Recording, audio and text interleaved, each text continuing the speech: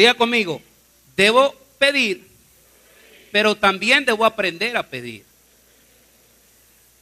Hubo una mujer multi, multimillonaria que hizo una donación multimillonaria a una universidad donde ella se graduó.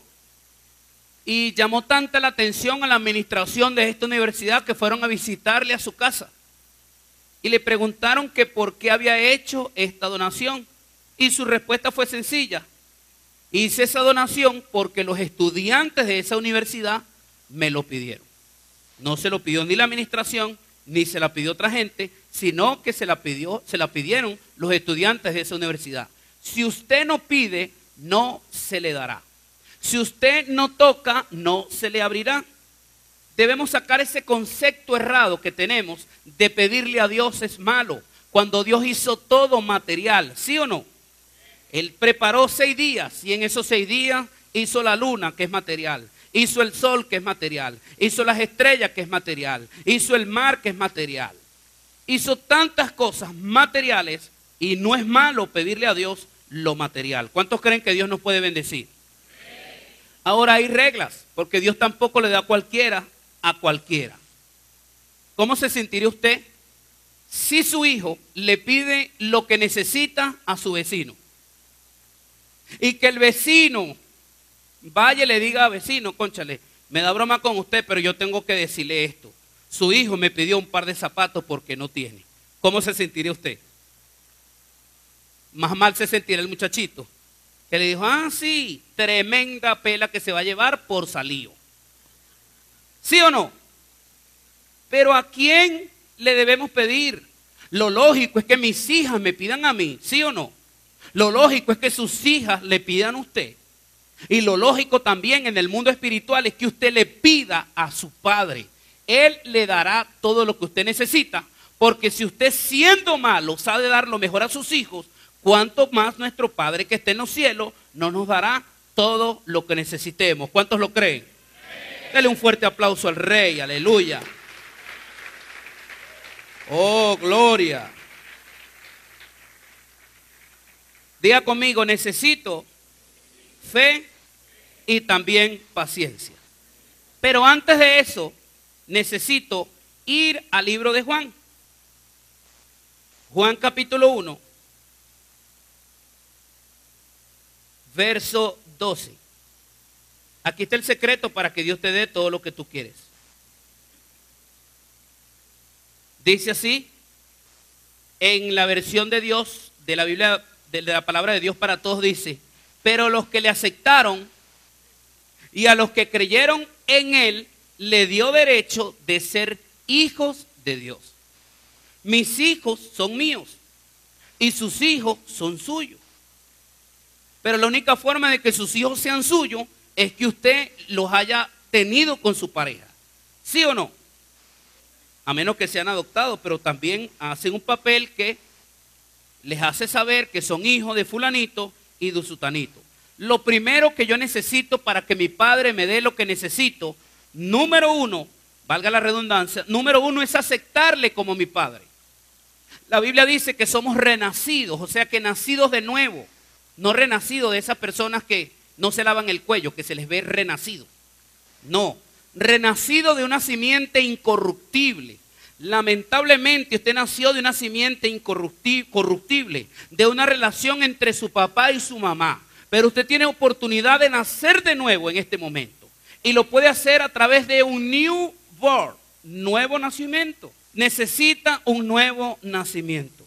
Y ese nuevo nacimiento, o para tener un nuevo nacimiento, también necesita un nuevo papá. Y ese nuevo papá es nuestro Padre Dios. Me han dicho en, algunas personas que nuestras enseñanzas son diferentes. Y yo les he dicho, mi meta es lograr que las personas que nos visitan puedan conocer a Dios como un papá, como un amigo y no como un Dios. Porque si le llegamos a conocer como un Dios, vamos a conocer igual a otro papá que nos crió, que nos limitaba, que no nos dio oportunidades para expresar lo que queríamos. Yo estoy en un proceso ahorita con mis hijas que están en la adolescencia, tratando de ser amigas de ellas y también cuidándome, porque creo que en una de esas amistades me pueden soltar algo que me puede caer para atrás como condorito. Lo primero que necesito es aceptarle como mi Salvador. Lo segundo es creer en Él. Porque lamentablemente teníamos o tenemos nuestros padres terrenales, creemos que nuestro Padre, pero no creemos en Él porque es un mentiroso, porque nos miente, porque no nos quiere, porque está fuera de nuestro círculo. No sé cuánto me están entendiendo. A todos los que le aceptaron y a todos los que creyeron en Él, les dio potestad, les dio derecho, dice esta versión. De otra versión dice, les dio poder para ser hijos de Dios. Por ahí leí en el Facebook que decía, yo no soy dueño del mundo, pero soy hijo del dueño del mundo. ¿Sí o no? Ese es usted. Usted es hijo del dueño del mundo. O sea que todo lo que usted quiere y todo lo que existe en la bolita del mundo es de su papá, así que reclámelo desde hoy en el nombre de Jesús. Aleluya. Fuerte aplauso para el rey.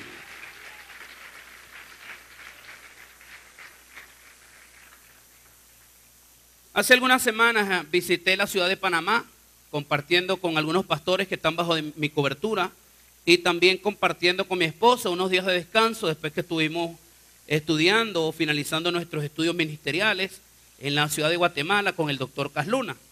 Mientras estuvimos allí, eh, tuvimos la oportunidad de visitar algunos sitios, por supuesto, más que todos centros comerciales, y orando por mi esposa, hermano, porque cuando se mete en un centro comercial, arranca un ayuno también para ella. Y por supuesto, yo haciendo un clamor para que eh, no se exceda en los gastos. y yo le dije, mi amor, no gastes tanto. Y me dijo, no, dame lo que me vas a dar. Y listo. ¿Por qué ella lo hace? Porque tiene confianza en mí. Porque aparte de ser su padre, soy su papacito. Me quiere como un papá. Esa fue una palabra que me dio el Señor hace bastante tiempo me dijo, ella no solo, no solo es tu hija, sino que también, eh, no solo es tu esposa, sino que también es tu hija. Y que van a haber momentos donde tienes que verla y tratarla como a una hija. No solo eso me pasó allí, sino que ella me pidió con confianza, porque sabe que yo soy su amigo, que soy su papá y que soy su esposo, y que la voy a bendecir. Pero cuando tomamos algunos de los taxis, eh, resultó ser que el, el dueño del taxi es cristiano. Y yo le dije, no, todos nosotros somos pastores, este, venimos de estudiar en Guatemala. Y nos dijo, oye, qué bueno. Yo le pregunté de una vez por la iglesia más grande de, Guatemala, de Panamá. Le dije, ¿cuál es la iglesia más grande de aquí? Y me dijo, no, está aquí cerquita, tienen televisión, tienen radio. Y me dijo, no, esa es una iglesia muy próspera, o sea, es una iglesia de la prosperidad, me dijo. Nosotros no. Donde yo asisto es una iglesia muy humilde. ¿Quién le dijo a usted que la humildad tiene que ver con la prosperidad? Yo conozco mucha gente próspera que es humilde, entre ellos el pastor Hugo Mendoza, que tiene mucha plata y son muy humildes. O vamos a decirlo como más de barrio, muy humilde. a ver, levante la mano los humildes aquí. Ok, ya perdió la humildad, porque el que levanta la mano para decir que es humilde ya no es humilde. Entonces, en otra enseñanza, más nunca levantará la mano. Para él, para él, para él, para él, para él, su Dios es humilde y el Dios de la iglesia grande que tiene televisión, que es próspera, es otro Dios. Cuando nuestro Dios es uno, yo lo que creo es que la formación que él tiene es una formación diferente. Lamentablemente su pastor no le ha enseñado que el dueño de la tierra y su plenitud es Dios. La palabra plenitud significa completo, lleno, todo. Y como le dije, aunque no somos dueños del mundo, ni de la tierra, ni de su plenitud, somos hijos del dueño del mundo.